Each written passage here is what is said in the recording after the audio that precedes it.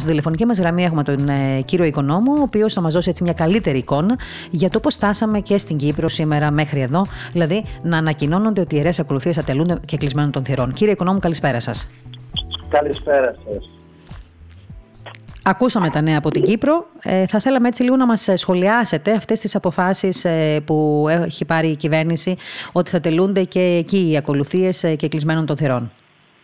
Πολύ ευχαρίστως άκουσα και τα σχόλια σας κυρία Γιαχνάκη και είναι πολύ επιτυχημένα και συμφωνώ απόλυτα μαζί σας ότι όταν έχουμε θέματα εκκλησιαστικά και τα οποία έχουν μια ειδική βαρύτητα δεν αρκεί μόνο η, η γνωμάτευση των ε, ειδικών ε, λοιμοξιολόγων αλλά σίγουρα θα πρέπει να λαμβάνετε και να ε, μετριέται το σύνολο ε, η ποιότητα των πραγμάτων και του αντικειμένου για το οποίο Και ασφαλώς πολλές φορές εγώ ως καθηγητής Πανεπιστημίου της Θεολογίας με 42 χρόνια εμπειρίας μένω κατάπληκτος με πόση απλότητα και με πόση ανευθυνότητα μερικές φορές. Μιλάω για την Κύπρο τώρα ναι, ναι. τους λοιμοξιολόγους τους οποίους βλέπω.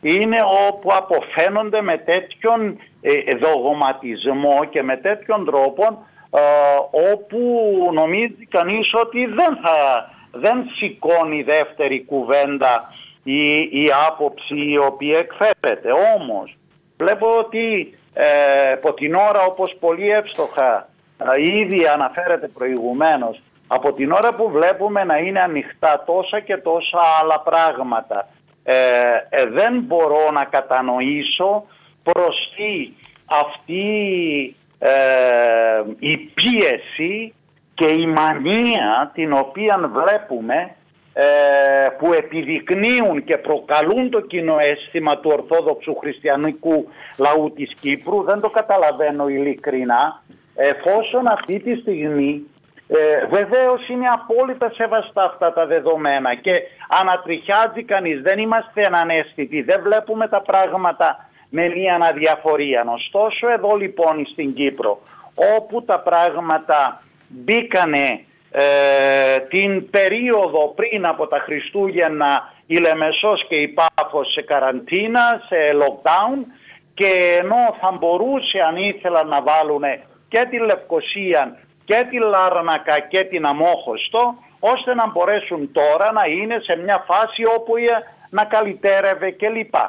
Όμως δεν έγινε αυτό το πράγμα και έμειναν την τελευταία στιγμή να ανακοινωθεί στα μέτρα από τον Υπουργό και έχω κάνει μια δήλωση και στο ε, δικό σας ε, την σελιδα όπου ετώνησα και ε, έχω την ίδια ότι είναι απαράδεκτες αυτές οι δηλώσεις του Υπουργού Υγείας της Κύπρου και των λοιμοξιολόγων οι οποίοι σκόπιμα και επιδεικτικά προκαλούν το κοινό αίσθημα του Ορθόδοξου Χριστιανικού λαού της Κύπρου.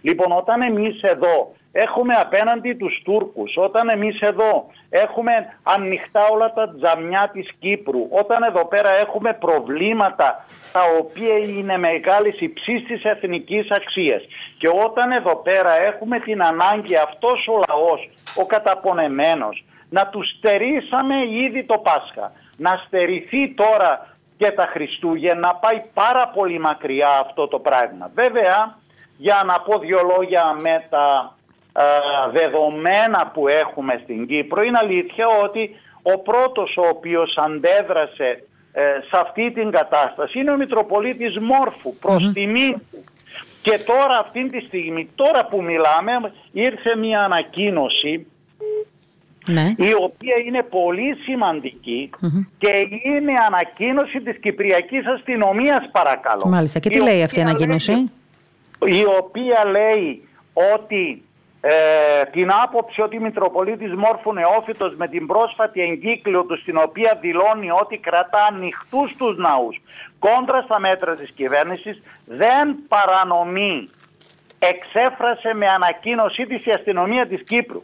Η Κυπριακή αστυνομία σε επικοινωνία με το Γενικό Εισαγγελέα συμφώνησε με την άποψη ότι δεν παραβιάζεται οποιοδήποτε όπως σημειώνεται χαρακτηριστικά στην ανακοίνωση. Μάλιστα. Αναφορικά με την εγκύκλιο του Μητροπολίτη Μόρφου, μετά από επικοινωνία της αστυνομίας με το Γενικό Εισαγγελέα, αυτό συμφώνησε με την άποψη ότι δεν παραβιάζεται οποιοδήποτε αδίκημα. Η αστυνομία συνεχίζει τους έλεγχους σε όλους τους χώρους για εφαρμογή των σχετικών διαταγμάτων. Συνεπώς, αυτή η απόφαση του Γενικού Εισαγγελέα της Κύπρου και της αστυνομίας μας δίνει την δυνατότητα να επιβεβαιώνει, επικυρώνει την απόφαση του Αγίου Μόρφου ότι ο οποίος λέει οι ιεροί ναοί μας θα συνεχίσουν απρόσκοπτα τη λειτουργία τους και δεν θα κλείσουν. Είναι ανοιχτές οι πόρτες. Μα, δεν μπορεί βέβαια, να έτσι. οι ναοί. Οι πιστοί να μην στερηθούν τη δυνατότητα να εκκλησιαστούν. Ναι. Δεν κλείνουν οι ναοί όπως δεν κλείνουν τα φαρμακεία και τα σούπερ μάρκετ. Βεβαίως, ασφαλώς, η τήρηση όλων των κανόνων είναι προϋπόθεση βασική. Βεβαίως η μάσκα, βεβαίως οι αποστάσεις, βεβαίως όλα αυτά τα πράγματα. Αλλά από την άλλη την πλευρά λοιπόν δεν μπορεί να υποτιμάς αυτή τη στιγμή ε, εγώ έχω ε, τονίσει ότι αποτελεί άμεση παραβίαση της θρησκευτικής ελευθερίας και των ανθρωπίνων δικαιωμάτων.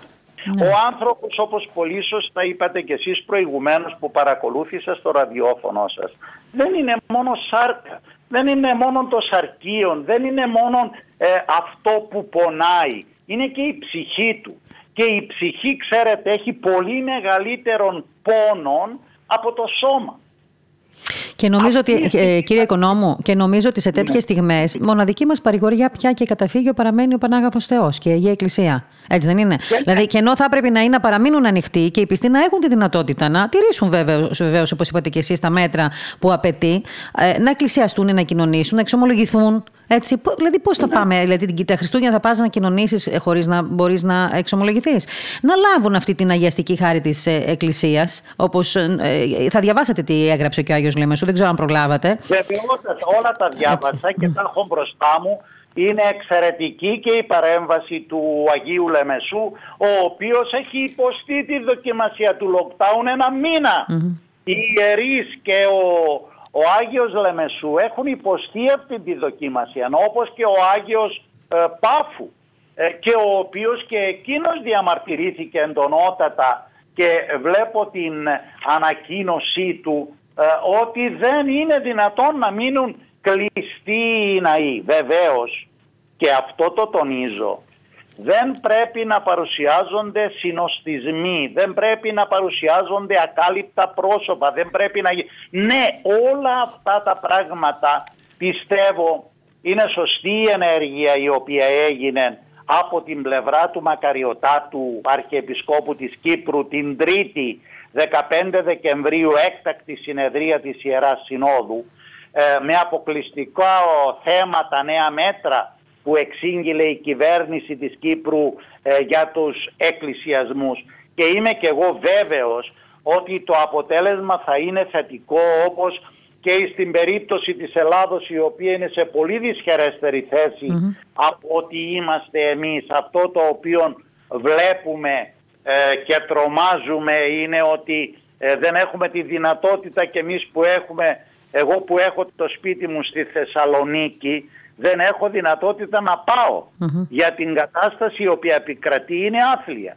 Μένω στη Λευκοσία με τους δικούς μου αλλά αυτή τη στιγμή ε, μένω στο σπίτι μου γιατί είμαι και Κύπριος και εδώ έχω και μια, το τμήμα θεολογίας του οποίου ε, είμαι πρόεδρος του Πανεπιστημίου Λευκοσίας και εμείς δουλεύουμε, έχουμε μαθήματα μέχρι τις 19 του μηνός. Εντάξει, τα μαθήματα και... βεβαίως γίνονται και διαδικτυακά, κυρία Οικονόμου, όπως ξέρουμε παντού. Οπότε αυτό το πρόβλημα λύνεται.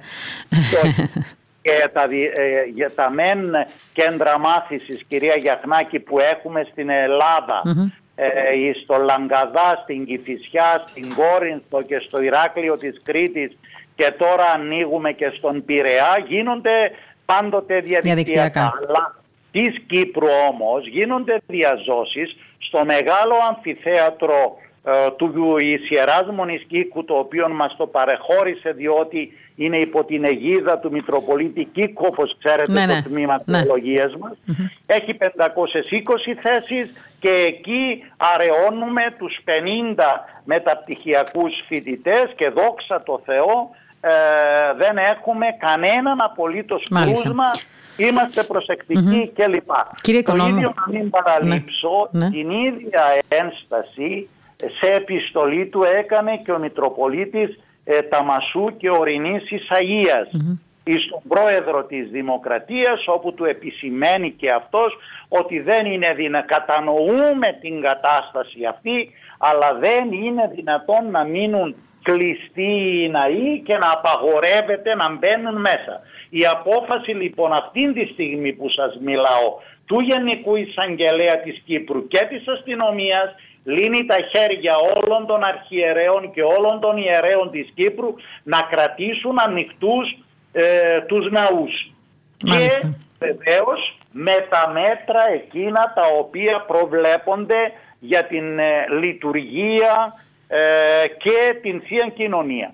Το ότι θα τελούνται ενδεχομένως δύο ή και τρεις ε, λειτουργίες για να μπορεί να καλυφθούν οι πνευματικές ανάγκες ε, των χριστιανών της Κύπρου ε, είναι ένα άλλο θέμα το οποίο βεβαίως ε, συνεξετάζεται.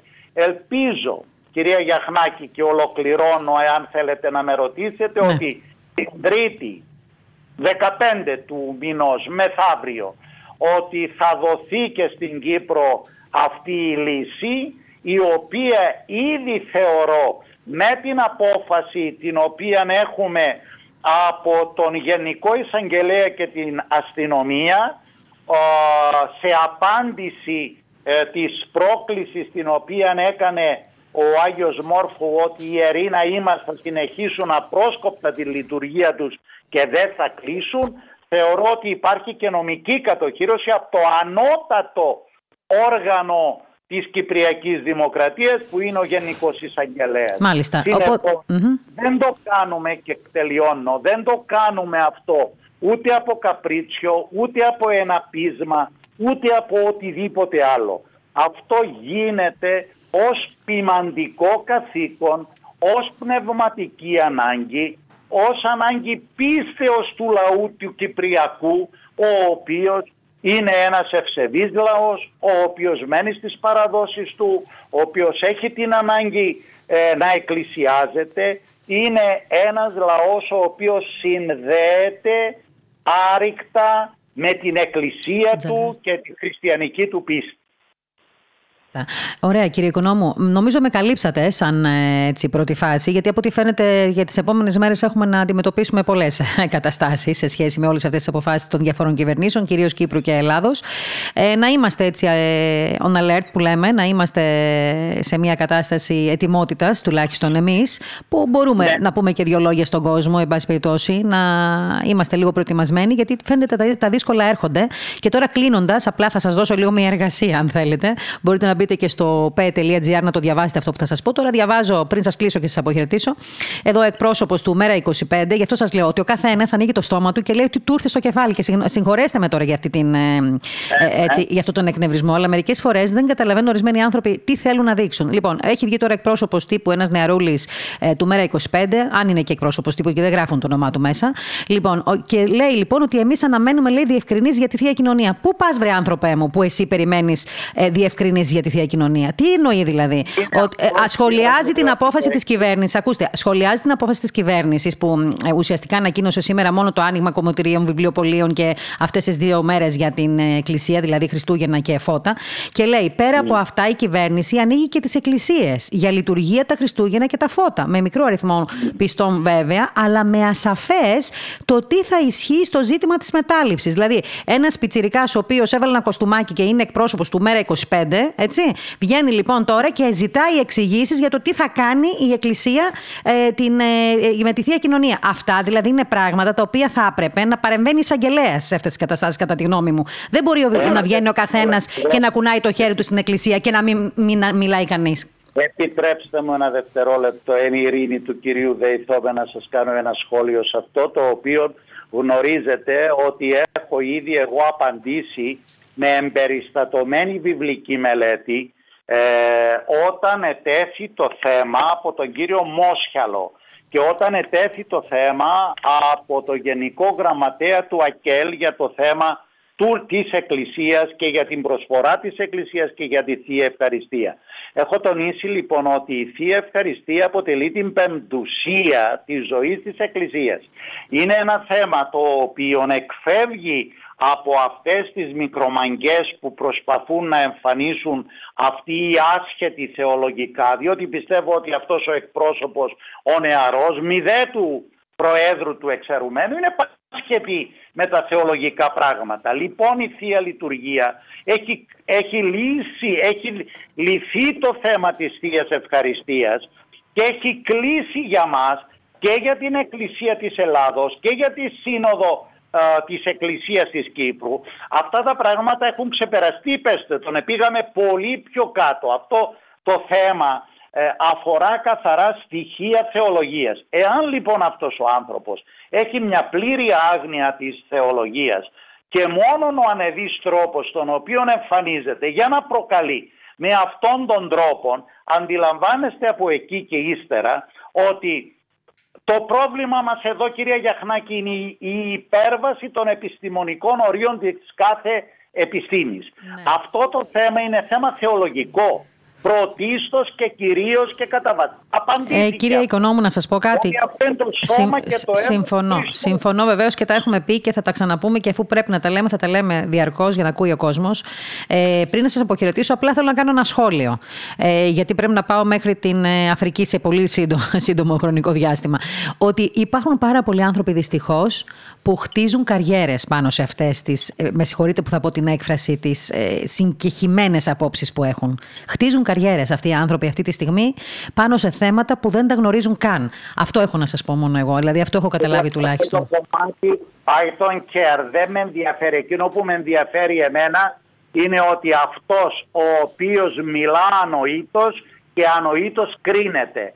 Έχει περάσει, πέστε του, αυτό το ερώτημα. Είναι λιμένος στη θεολογία. Είναι λιμένος στην επιστήμη και την έρευνα και συνεπώς δεν υπάρχει αντικείμενο συζήτησης. Μάλιστα. Έχουμε πολλά επεισόδια πίσω αυτός ο εκπρόσωπος. Μάλιστα, έτσι είναι. Λοιπόν. Συνεπώς δεν έχουμε αντικείμενο συζήτησης, ούτε μπορούμε για τον κάθε ανεύθυνο ο οποίος ανοίγει το στόμα του με αυτή την κλασική ανευθυνότητα για να αποφαίνεται για θέματα θεολογικά και θέματα τα οποία έχουν τοποθετηθεί βιβλικοί επιστήμονες, έχουμε τοποθετηθεί και αναλύσαμε τι είναι θεία κοινωνία, τι είναι η Και θα κάνουμε, θα κάνουμε σύντομα ένα Skype, κύριε Οικονόμου. Θα κάνουμε σίγουρα σύντομα ένα Skype σε ένα τηλεοπτικό τραπέζι την επόμενη εβδομάδα, στο οποίο θέλω να συμμετέχετε κι εσείς να μιλήσουμε για αυτά τα θέματα για, το, για την πεμπτουσία. Λοιπόν, να σας ευχαριστήσω πολύ που ήσασταν στη γραμμή μας. Με συγχωρείτε που σας κλείνω λίγο ξαφνικά, για να πάμε λίγο παρακάτω και θα τα ξαναπούμε σύντομα. Σας ευχαριστώ πολύ. Να είστε καλά. Καλή δύναμη.